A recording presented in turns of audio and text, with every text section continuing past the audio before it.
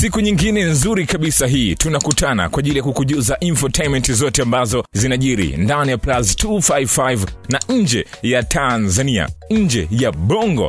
Na siku hii ya leo kwenye Newsbox, moja stori kubwa ambazo zinazidi kutrend hapa nchini Tanzania. Kumbuka tangu siku jana omi dimpos alivyoachia ngoma yake mpya inayokwenda kwa jina la Ni Wewe, ambayo kwa wakati huu imeweza kutrend mpaka ikaingia namba tatu kwenye zile ngoma kale ambazo zina trending na bado itazidi kupanda ni kuwa kupitia mkuu wa mkoa wa Dar es Salaam RC Makonda amewachana Watanzania kupitia Ommy na kusema kwamba Watanzania wanapenda sana kutangaza msiba kuliko uponyaji. Mkuu huyo mkoa wa Dar es Salaam Paul Makonda amekerwa na baadhi ya tabia za Watanzania za kupenda kutangaza habari mbaya tu za vifo na sio zile nzuri, kwa kudai kuwa huo ni unafiki. Makonda akimtolea mfano msanii wa muziki wa Bongo Flava omi Dimpoz Ommydimpoz amesema kuwa kuna watu kipindi msanii huyo anaugua walikuwa wanatangaza amefariki dunia, leo amepona na ametoa wimbo wake mpya wa kumshukuru Mungu. Watu hao hao wamekaa kimya kama hawajui vile na nukuu kauli hii hapa kupitia ukurasa wake wa Instagram. RC Makonda akasema, ukitaka kujua watu walivyo waajabu, tazama leo. omidimpo Dimpo alikuwa mgonjwa sana na ikafika hatua ya watu kutangaza amekufa. Leo amerejea tena akiwa na wimbo kumshukuru Mungu. Wamekaa kimya kama vile sio wao waliokuwa wanaposti kumwombea apone. Angefariki tungeona mitandao yote imechafuka. RIP o Oh, umeenda bado, tunakuhitaji. Unafiki huu sijui utaisha lini. Tunapenda kutangaza msiba kuliko uponyaji, ameandika RS Makonda kwenye ukurasa wake wa Instagram. omi dimples kwa sasa amerejea nchini akitokea Ujerumani alikokuwa akitibiwa kwa takriban miezi miwili, na tangu aanze kuugua Omi Dimples, RS Makonda amekuwa ni mtu wa karibu kumjulia hali, na kuna kipindi alishawahi kujulisha umma juu ya afya ya msanii huyo. Stori namba mbili, tuvuke boda twende nje ya bara la Afrika. Ni kwamba msanii 21 Savage cheti chake kimeonyesha ni mzaliwa wa Uingereza na siyo nchi ya Marekani.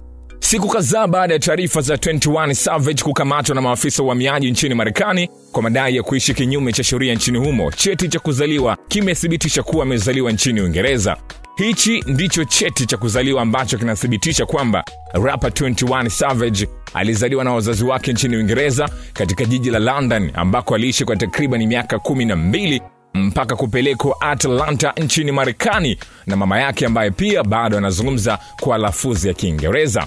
Cheti chake cha kuzaliwa imeelezwa kuwa mwanamziki huyo pia na dada zake ambao ni mapacha na majina yao ni Kaira na Jaida, lakini ikisemekana kuwa alifuta picha zote za utotoni.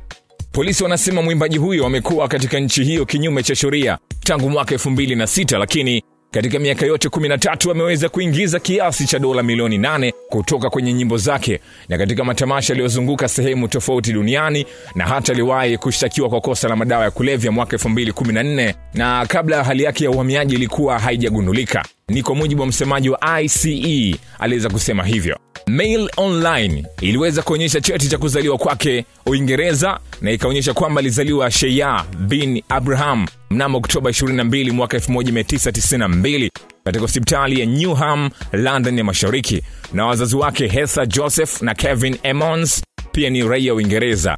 Inaonekana alihamia Atlanta na mama yake wakati wanandoa walipotengana na sasa ni mmoja wa nyota za Marekani. Miongoni mwa hits zake ikiwa ni pamoja na ushirikiano na megastar Drake ambayo hivi karibuni alimnunulia Ferrari mama yake mwaka jana, na mama yake aliweza kuhojiwa katika tukio la mji ambapo mtoto wake alikuwa akiwapa vitabu bure, viatu na nguo kwa familia maskini katika tukio la nyuma. Na kwa msisitizo mkubwa, mama yake huyo alisema ni ndoto ya kila mama kumwona mtoto wao akikuwa kuwa mvulana mwenye busara na mwenye upendo ni nzuri kwamba anawasaidia watu wengi kwa sababu tulikuwa pale tu sisi wenyewe. Hii ni stori ya mwisho kwenye Newsbox kwa siku hii ya leo. Stori nyingine, infotainment nyingine ambayo tutakusogezea ni hapo baadaye. Cha kufanya endelea kusubscribe kwa ajili ya kupata stori mbalimbali.